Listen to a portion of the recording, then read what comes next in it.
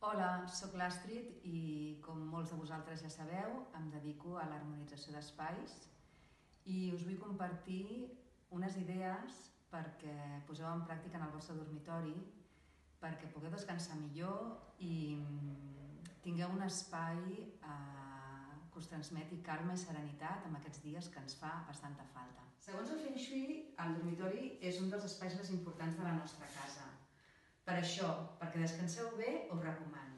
Cada matí obriu la finestra.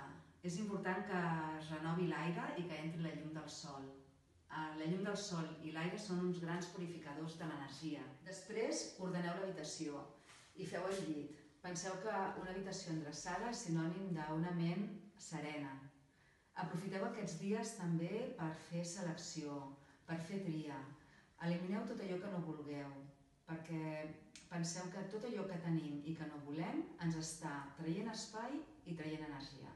Eviteu tenir en el dormitori aparells elèctrics, com els telèfons, les tablets, els ordinadors, perquè estimulen amb accés la nostra ment i dificulten el nostre descans. Si podeu, col·loqueu també una planta. Les plantes ens connecten amb la natura i amb el nostre estat d'equilibri. També, si teniu una espelma, enceneu-la cada vespre, una estona. Les espelmes corresponen a l'element foc i ens connecten amb la nostra part més essencial.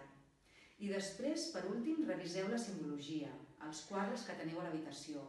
Aquells que no us agradin, traieu-los. És el moment ideal per treure els quadres. I deixeu només aquells que us inspirin i us transmetin sensacions de calma i tranquil·litat. Espero que us hagi servit. Una abraçada molt forta i cuideu-vos molt.